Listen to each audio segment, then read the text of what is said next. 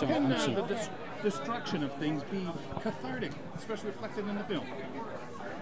Can you repeat that? How, I'm sorry. the- how can the destruction of things be cathartic for one throughout the film? How, how does that help? I think uh, you haven't seen the film, huh? I'm not sure I should answer this question. What, uh, But much of a giveaway? but let me tell you let me tell you something. It does help Davis Mitchell, and I could relate to this character so much. That's why I wanted to direct this film when I wrote the script three years ago. When the producers, one of the producers of uh, uh, uh, this film, Ross and Lianne, were here watching Café de Flore at TIFF. They sent me the script of Demolition. I read it, and I went, "Oh wow, I gotta, I gotta direct this."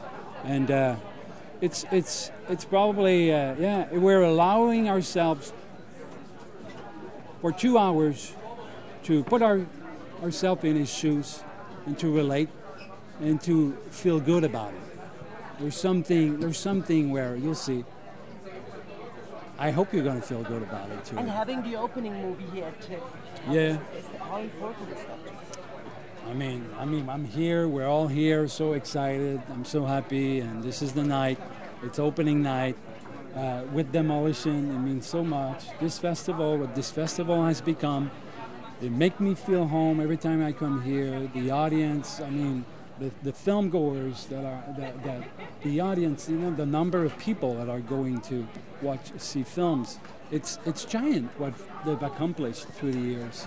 It's phenomenal, and uh, so here we are celebrating this, congratulating congratulating uh, them, and also uh, thanking uh, you know TIFF for having this amazing window for demolition. And uh, it's the most rock and roll film I've ever made, and it's, it makes some noise. And these guys are setting up the tone. They want to make some noise. Have you come, have you come to the point? Congratulations! I'm going to see it.